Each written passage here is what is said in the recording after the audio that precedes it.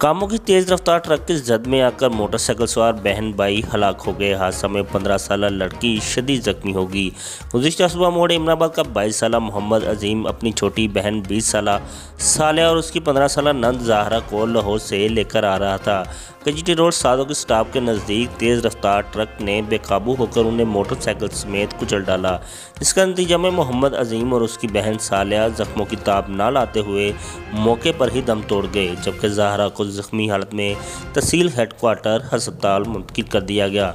हादसा के बाद ड्राइवर ट्रक छोड़कर मौका से फरार होने में कामयाब हो गया। सदर पुलिस मसरूफ़ तफ्तीश है।